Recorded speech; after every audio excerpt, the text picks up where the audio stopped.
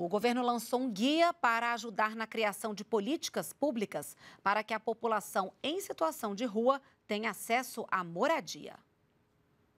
O Brasil tem pelo menos 222 mil pessoas vivendo em situação de rua. O dado é da última pesquisa do IPEA de 2020, que mostrou também que a maioria dos moradores de rua, 81,5%, está em municípios com mais de 100 mil habitantes, principalmente das regiões Sudeste, Nordeste e Sul.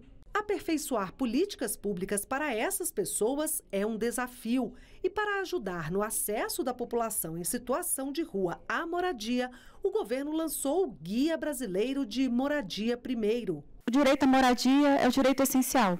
É o direito né, que abre outras portas para os direitos é, humanos, né, para a pessoa, a pessoa ter um endereço, a pessoa ter onde dormir, a pessoa ter uma segurança né, de saber que ela vai dormir e acordar num ambiente tranquilo, protegido.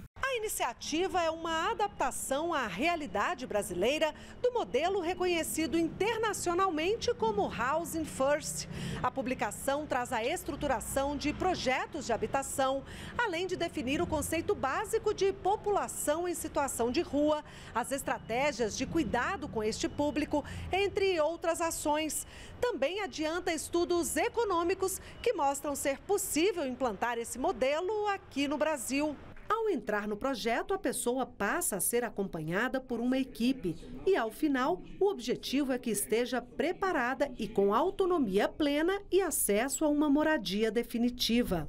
Tanto no, em, nas esferas é, é, municipal, que é mais local, estadual e federal, temos que ter essa, essa, essa vivência e esse comportamento de criar realmente as políticas públicas que vão é, erradicar essa população que vive na rua dando o que é mais óbvio do mundo, a moradia.